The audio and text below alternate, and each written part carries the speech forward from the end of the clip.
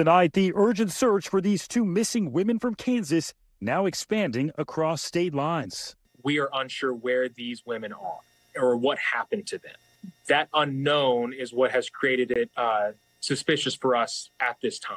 Authorities say 27 year old Veronica Butler and 39 year old Jilian Kelley were traveling together near the Kansas Oklahoma border to pick up their children on Saturday, but never showed up to their destination. Veronica's blue Kia SUV later discovered abandoned in a remote part of the Oklahoma panhandle. Sheriff's office deputies approach the vehicle and these women are, are gone and they're nowhere to be seen. Officials say their search was hampered by the extremely rural area where the car was discovered. Law enforcement looks for local uh, buildings, houses, businesses for for possible cameras to see maybe where the car was parked, where it was going, where the women might have gone.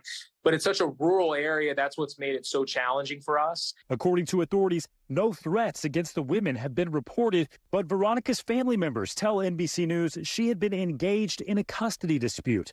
The Oklahoma State Bureau of Investigation now turning to the community for help. It's very, very important for us for people to continue to put in their uh, tips and, and whatever information they may have that could help the case.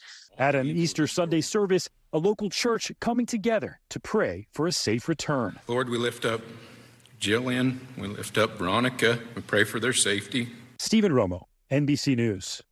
Thanks for watching. Stay updated about breaking news and top stories on the NBC News app or follow us on social media.